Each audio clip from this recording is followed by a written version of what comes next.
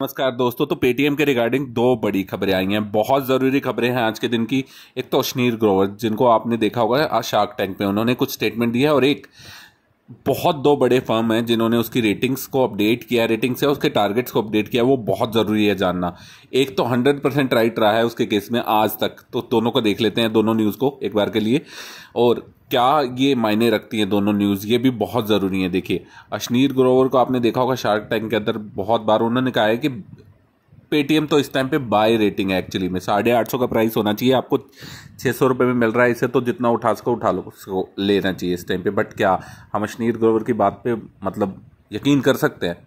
जो बंदा खुद की कंपनी से निकाल लेंगे नौबत आ चुकी हो जिसकी, या जिसके ऊपर खुद इंक्वायरी चल रही हो, उसकी बात पर कितना विश्वास किया जा सकता है, एक बहुत बड़ी बात है।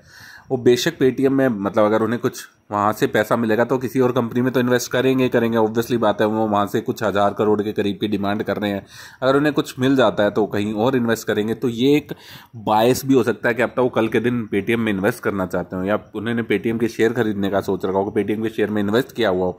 तो कुछ भी हो सकता है। दूसरा मैक्वेरी मैक्वेरी कह रहा है कि साढ़े चार सौ प्राइस होगा पेटीएम का, और मैक्वेरी ने तीन बार रेटिंग दी थी, तीन बार डाउनग्रेड किया था इसको और तीनों बार वही प्राइस पे पहुँचा है आज तक।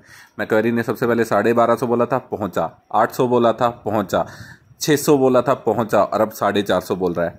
बट हाँ मॉर्गन स्टैनली अभी कह रहा है कि इसका प्राइस साढ़े आठ सौ से ऊपर होना चाहिए। तो बहुत डिफरेंट है, मैक्वेरी हंड्रेड परसेंट राइट रहा है इस मामले में मॉर्गन स्टैनली एक बार भी नहीं रहा है। तो बहुत बहुत बहुत सावधान रहने की ज़रूरत है स्टॉक के अंदर।